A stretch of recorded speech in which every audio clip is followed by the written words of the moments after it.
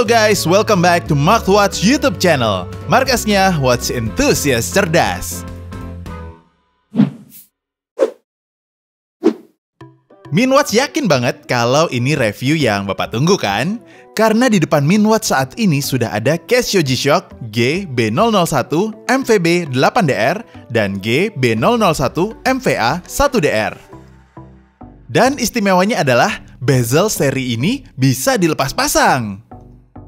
Wah, gimana gimana? Bisa dilepas pasang? Sabar pak, habis ini Minwatch bakal tunjukin seberapa ajaib duo Casio ini. Let's go! Oke, sebelum kita bahas bezel yang bisa dilepas pasang, Minwatch mau kasih tahu dulu ke Bapak kalau duo Casio ini merupakan penerus dari G-Shock DW001 rilisan tahun 1994. Desainnya pakai kapsul tough kayak pendahulunya, di mana case-nya diselimuti resin sepenuhnya demi struktur shock resistance yang tangguh. Tapi yang jelas sekarang ada pembaruan. G-Shock pakai konstruksi carbon core guard di seri ini, jadi jelas lebih kokoh, tapi juga ringan, Pak. Dan ini yang paling ditunggu-tunggu. Lihat nih, Pak. Bezel stainless steel terpasang permanen. Satu lagi bezel eksternal dari resin bisa dilepas pasang. Kesan sportinya makin dapet. Keren banget kan? Ini baru namanya beli satu dapat dua guys. Dan Bapak juga bisa langsung connect jam tangan ini ke smartphone via Bluetooth.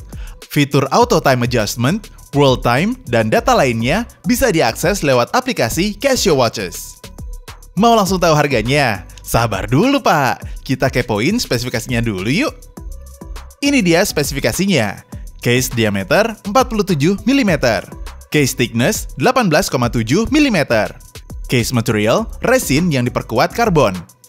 Strap material resin. Dual bezel material, fixed bezel dari stainless steel, dan external bezel dari resin. Water resistance hingga 200 meter, glass material, mineral crystal, dan mesinnya menggunakan quartz movement.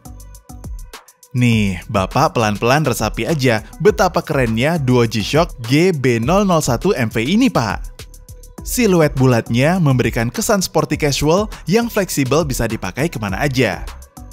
Stainless steel caseback juga diberi cover berbahan resin yang siap menjaga jam tangan ini dari berbagai benturan. Selain itu, juga ada komponen seperti sayap di bawah strap, Pak. Yang ini nih, fungsinya biar makin fit di pergelangan dan nggak licin. Jadi makin aman paripurna ini, Pak.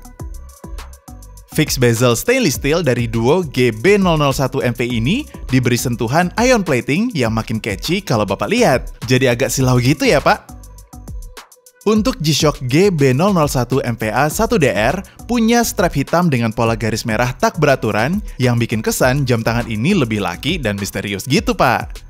Sementara buat GB001 MVB 8DR punya tampilan emas mengkilat pada bezelnya yang siap menarik perhatian. Hmm, Minwatch harus ngomong gimana lagi ya pak? Casio memang paling bisa kalau bikin jam-jam keren kayak gini.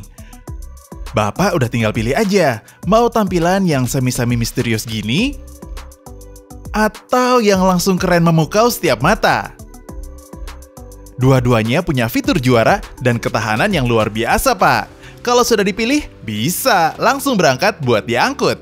Linknya ada di komen, Pak. Jangan disia-siakan kesempatan ini, karena infonya stoknya nggak banyak. Jadi buruan ke jamtangan.com. Oke, sekian dulu ya dari Minwatch. Silahkan like video ini kalau kalian suka. Boleh juga tulis komentar kalian. Dan jangan lupa subscribe biar nggak ketinggalan review jam tangan terpanas lainnya. Thank you for watching and see you on the next video.